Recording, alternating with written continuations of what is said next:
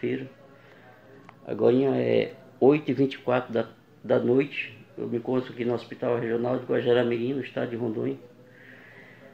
E quero mostrar uma coisa para vocês, um escândalo, uma falta de vergonha, uma coisa que vocês vão ficar estagnado, indignado.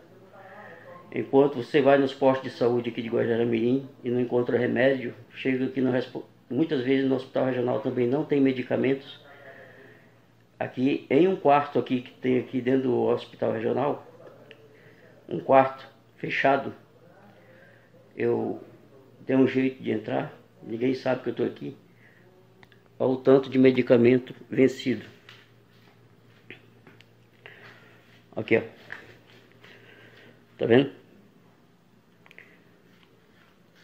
Tá vendo essas caixas aí?